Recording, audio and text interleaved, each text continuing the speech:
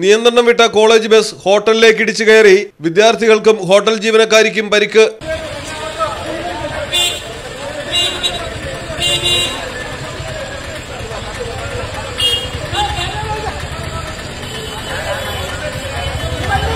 തൃശൂരാണ് അപകടം നടന്നത്.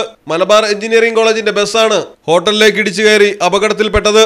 ഹോട്ടലിന്റെ മുൻവശം പൂർണമായും തകർന്നു. വിദ്യാർത്ഥികളും ഹോട്ടൽ ജീവനക്കാരിയും അടക്കം ആറുപേരെ തൃശൂർ മെഡിക്കൽ കോളേജിൽ പ്രവേശിപ്പിച്ചിരിക്കുകയാണ്. ഹോട്ടൽ ജീവനക്കാരിയായ മങ്ങാട് സ്വദേശി സർലയുടെ പരിക്ക് ഗുരുതരമാണ്.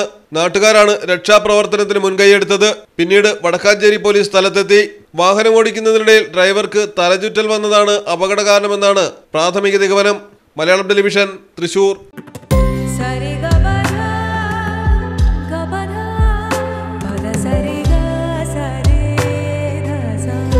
ആഘോഷത്തിന്റെ നിമിഷങ്ങൾ.